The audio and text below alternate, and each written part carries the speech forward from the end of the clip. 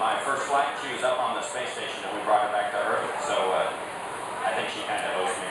But she, she probably doesn't think that. She was so focused on her chocolate milkshake that I don't even think she even knew. And then I haven't, uh, I didn't know Rex before I got to NASA, but he ran our uh, spacewalk branch of our office for a little bit. Uh, and I don't have any, any stories on him. And uh, were there two, I don't even know how Yeah, so I was saying this on either the walkout or we we're standing for waiting for the bus. Somebody asked about what were they thinking on the, uh, the Airstream ride out to the pad. And I heard Andy Thomas describe it as, hey, it's a time for quiet reflection. You know, you're thinking about what you're about to do from a standpoint of going out there to climb on a rocket and also thinking about what you're gonna do from a work standpoint. You know, just